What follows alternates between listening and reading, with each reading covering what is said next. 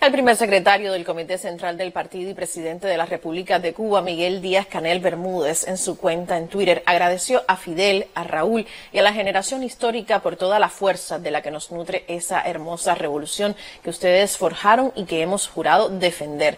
A todo nuestro pueblo, feliz 2023, viva la revolución cubana en su 64 aniversario. El miembro del Buró Político del partido y primer ministro de Cuba, Manuel Marrero Cruz, resaltó en su cuenta de Twitter que este 2023 será un año de victorias.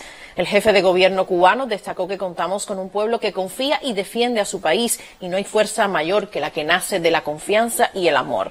El también miembro del Buró Político y ministro de Relaciones Exteriores de Cuba, Bruno Rodríguez Parrilla, felicitó al pueblo cubano en el aniversario 64 de la revolución.